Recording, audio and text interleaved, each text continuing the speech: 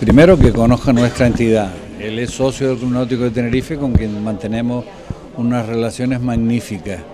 Hacemos regatas incluso conjuntas en el archipiélago donde participan embarcaciones de Tenerife, nosotros nos desplazamos para allá, ellos para acá también y de Lanzarote.